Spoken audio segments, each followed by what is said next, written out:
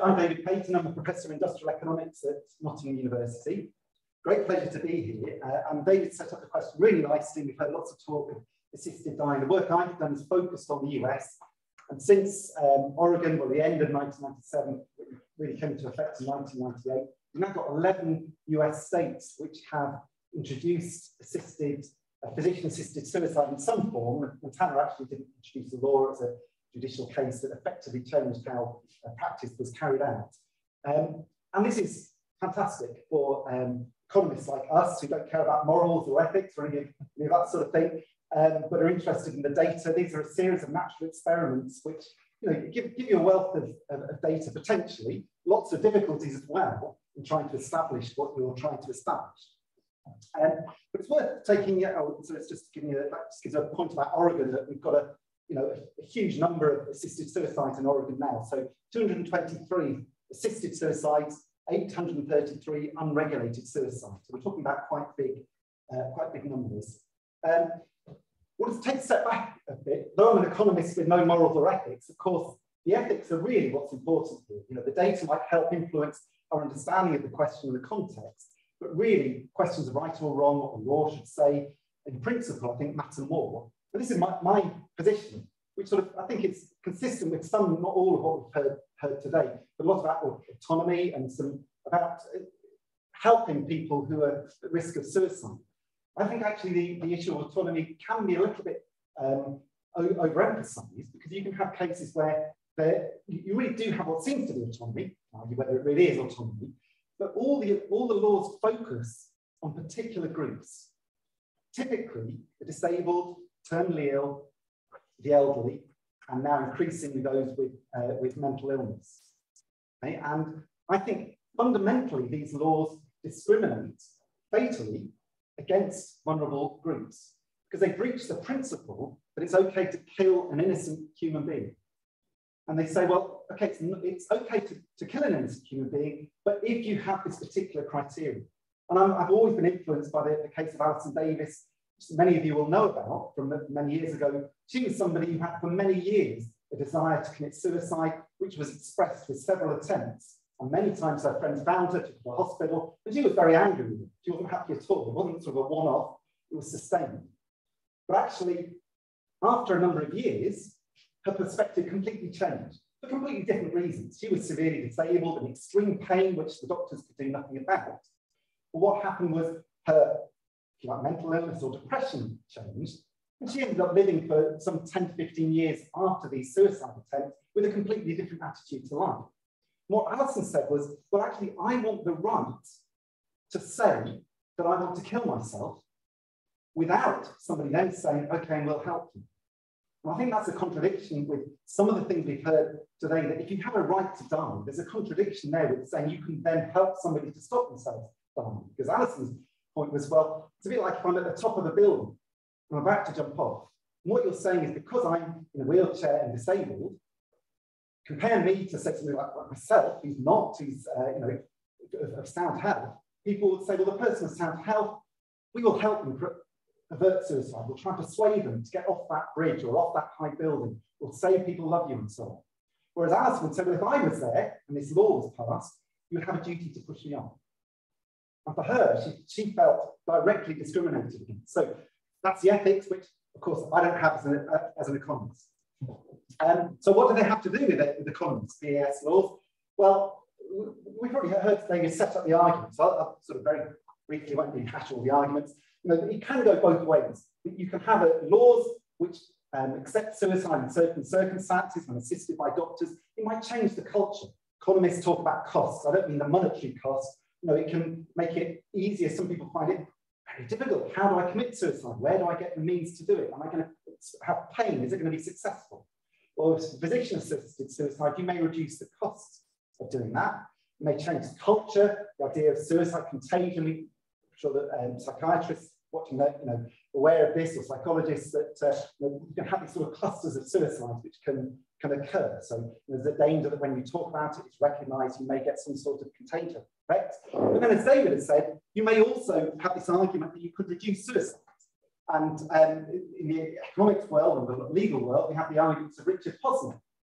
I don't know whether he'd really call himself an economist or a legal um, theorist, I don't, don't know. But his argument is exactly what David said, that the option of suicide may make you less likely to commit suicide um, now, because you know it's there in the future. When you get to the future, actually perhaps things weren't as bad as you thought, so you don't commit suicide. You may see total suicides go down, you may see total suicides go up, but, uh, but unassisted suicides go down. We may see uh, both go up. We don't know, it's an empirical question. So um, let's of just set it up. I won't give you lots of, I, I can't believe David said that statistics were dry and abstract. Was that the word? This is my whole life's, life's work. How dare you? Uh, no, I'm not saying you're, you're wrong, but um, just, just, to give you an idea, this is what happened in Oregon. So the, the top line, the green line, uh, the, is a total suicide rate. So combining unassisted and assisted suicide. The blue line at the bottom is non-PAS states, so all other, all other states. And you can see, well, Oregon already had quite a high rate of suicide when they legalized their law. That could be an important issue. And you can see, well, it's a little bit hard to tell for the unregulated rate. Probably, if anything, it's increased relative to other states. But certainly total suicides have gone up. And we can look at various other states. Got a few graphs, I'll, I'll skip through them. But there's lots of problems with this because, of course, you know, we've got Oregon, we've got all the other states.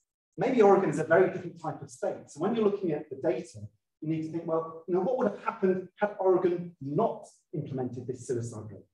Maybe their demographics, their social changes would have meant that their suicides would have gone up anyway, for whatever reason.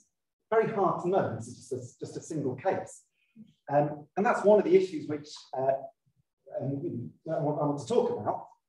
Um, David mentioned a paper that, that himself and, and Lee did a few years ago. This is in the Southern Medical Journal, which I think was the first a paper to look specifically at this issue. It was a, a preliminary study, really, because we only effectively had two states, Oregon and Washington State, to look at in, in the US. Um, our conclusion was, well, PAS tended to increase total suicide, may have increased other suicides as well, certainly didn't decrease them, but the results were a bit less robust. Okay, so that was a, the, the uh, point uh, a, a, few years ago.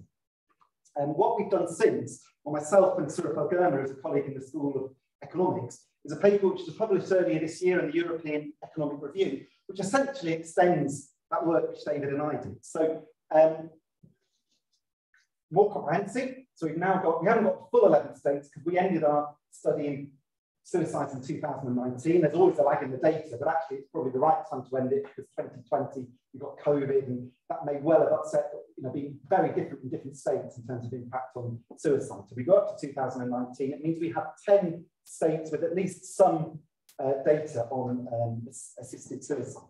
We use panel event study regressions.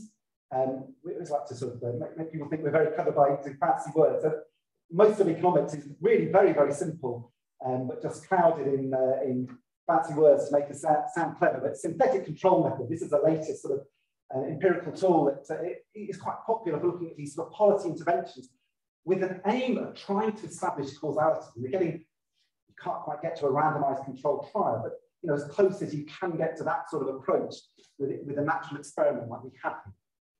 I'll give you a flavor of what we do. So the panel event study regressions essentially say, well, you look at the average change in suicide rates, and we look at two, we look at total suicide rates and unassisted rates on their own. Okay, so we look at both those questions which David talked, talked about uh, and to say, well, what happened before and after you introduce these laws? Because of course, we've seen that Oregon has relatively high suicide rates already, so we don't, we can't be saying, oh look, Oregon's got high suicide rates and it's got assisted suicide, so one causes the other.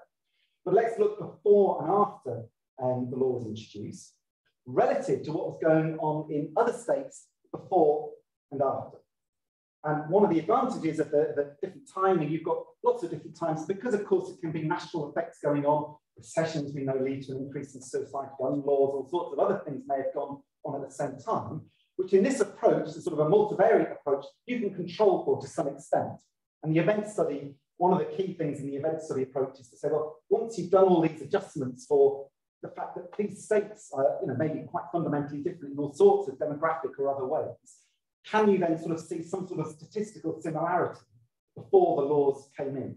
So we have a sort of parallel trends assumption they, they could really say, you know, once you've done the, the controls and adjustments, you have similar trends before the law. That's one of the sort of, sort of tests. So that's one approach we take. The other approach is this synthetic control method. And it, it essentially said, well, you, you try to get a weighted mix of states that are similar um, in all sorts of statistical dimensions to the states that have had the intervention. And then you look at what you, you're using them as a counterfactual. So you're trying to say, well, we think if this state hadn't introduced a law, this mix of states gives you the best guess as to what you would have expected to see. And of course, you know, we, we, we haven't observed it, so we can't be 100% sure. So you, you can have of confidence intervals. You try to get a mix of states, so you're not focused on one particular case, but maybe a you know, data mess up or, or whatever may, may, be. You control the match groups by what we call confounders, by you know, politics. There may be different states which are more likely to introduce assisted suicide, maybe Democrat leaning states perhaps, and may also be more likely to have different trends in suicide rates for all sorts of reasons. Maybe they're less religious or have different demographics or whatever it might be. Try to control that. It's really been quite, quite popular. Look, people have looked at it, what would happen to, to GDP in the UK, and you look at sort of a mix of uh, other, other economies which you, you, you know, you, you, try and match as best you can, tobacco control pro programs in states, there's all sorts of areas where people have looked at this. So it's, it's quite a nice method. I think there's no, you know, we're, we're, dealing with statistics, so you can't say, well, you know, this is the truth. I think you can attack the data, if you like, um, uh, in lots of different ways to try and tease out, uh, some people would say torture, but I think, you know, to tease out causality as best you can. And I, I think you've got to be cautious with, with data, of course. And I think one of the things we, we to do in all the empirical work is to say, well, this is what we think is a light model. This seems to get to the heart of the causality, but we've got two different approaches here. But then to check, well, how sensitive is it? You know, if you drop, is that all driven by one of the states where maybe there's something funny going on? If you change the mix of you know, confounders of variables, does that change things? If you look at the slightly different time periods, slightly different approaches, there's actually a couple of other dynamic difference in difference approaches, they call it, which uh, referees asked us, to, asked us to do. So that's you know, one of the things we do. I would say that probably encourage you all read the, the, paper. Very occasionally, people do read the economics papers. You can look at the citation indexes; they're not they're not very high. But if you do read I think you'll see that you know we, the results are generally consistent across the different ways we try to attract, uh, attack um, the data. So a little bit about what we found then. This is a sort of big table. Um, just to, to, give you a flavour, we, we looked at overall suicide rates, female, male, and then broke it down by some age groups. The, the key things are those things where it says same year, one, two, three, four, five, six. With the uh, event study, you're looking at to see whether you're allowing effects to be different in different time periods. Okay, and essentially, when you see the stars, that means they're statistically significant. Okay, so that means it looks like the effect is different to zero statistically. Uh, if it's positive, it means that the intervention had a positive effect on, or was estimated to have a positive effect on suicide rates with all the controls that are in there.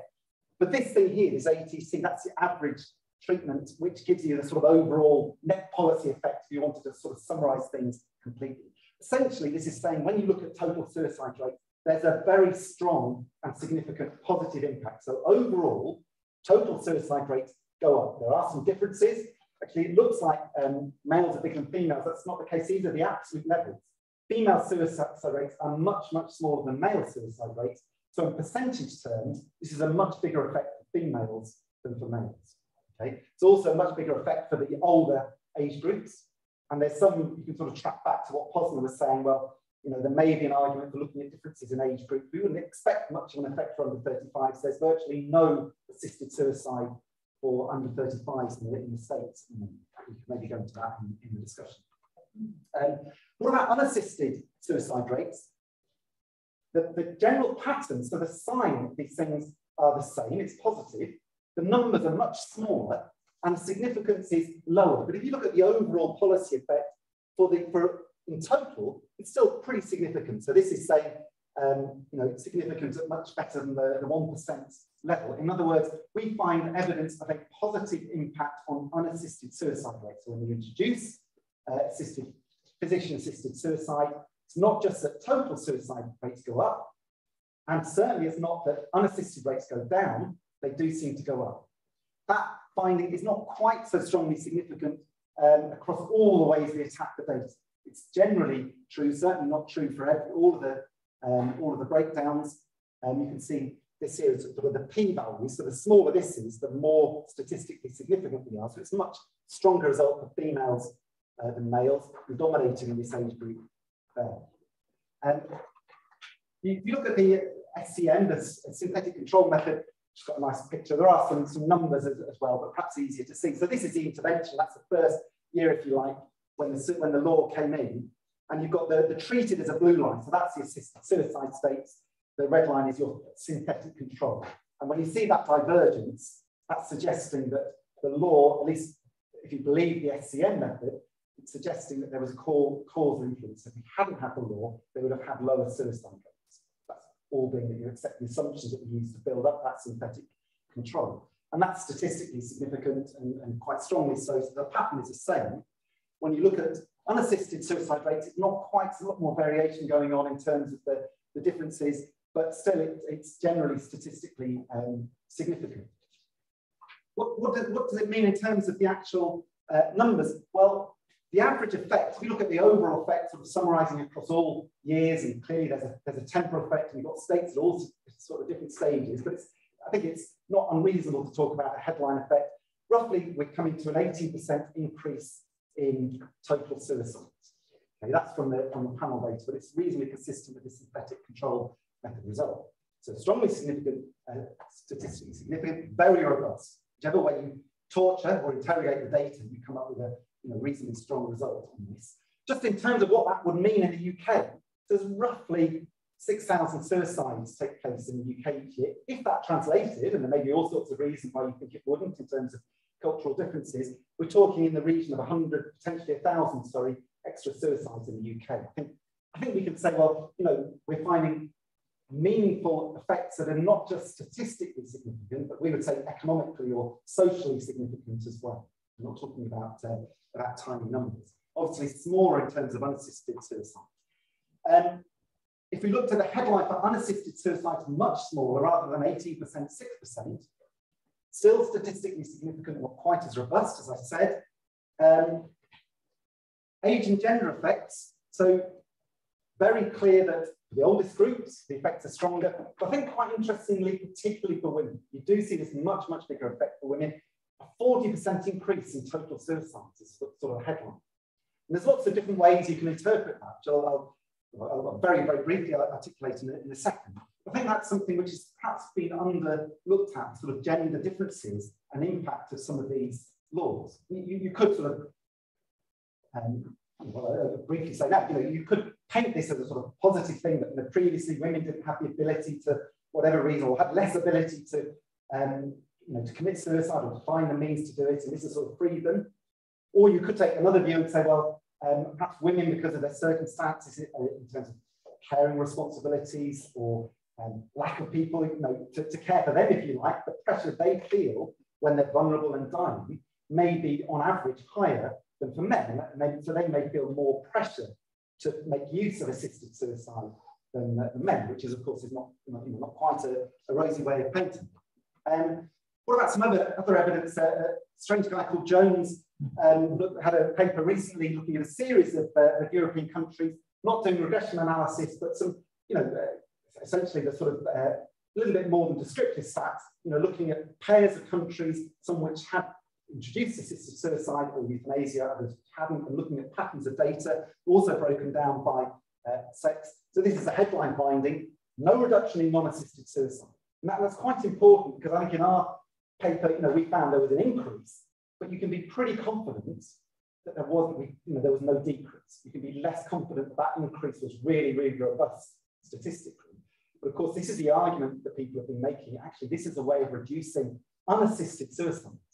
But pretty ambiguously, um, you know, we're seeing an increase in, uh, in total suicides. So this is one of David's graphs, which is uh, cut, cut, and pasted, looking at comparing Switzerland and Australia, just to give you an idea of the sort of Austria, indeed, thank you, um, for, for, males and, and, females. And I think it's really much, much, more worth looking at David's paper because it's much easier to see the pattern of what's going on in these different countries than, uh, than our, our, paper. But uh, you know, you don't want to wade through the, through the stats, and there's lots of really interesting stuff in here. Um, so, you know, essentially, the, the story is consistent in Europe with uh, what's been going on in the States. The other one I wanted to mention was Canetto and McIntosh, who just sort of focus, one of the few papers that focus on the gender differences, also finds um, they look at the states and they find the same conclusion. It impacts disproportionately on women. And they have, they, they sort of really buy into that sort of more negative view. They, they see that as uh, you know, the result of um, extra pressure that women feel on average in very vulnerable situations um, where you're subject to or where su assisted suicide is, um, is an option. So very strong evidence from lots of countries that assisted suicide laws lead to increases in total suicide rates. Weaker evidence um, that they increase unassisted suicide rates, but crucially no evidence that they reduce unassisted suicide and women affected more than men. And we go back to where we started, if you like. You know, this doesn't tell us whether assisted suicide laws are right or wrong. They're right or wrong in themselves. And you can believe this to be true and still think, well, it's people's right to determine when, when they should kill themselves. Or you could believe that it's a, you know, that it's a fundamental breach of people's human rights to allow these, uh, these laws because you target vulnerable groups. The ethics are still the determinant of how, whether these laws should be passed, but at least on one aspect, where people have used it to try and um, uh, argue for a change in the law in favour of assisted suicide, the data does not back it up. And indeed, if you see any suicide as a tragedy in itself, the data would suggest there are serious consequences um, from introducing some of these laws.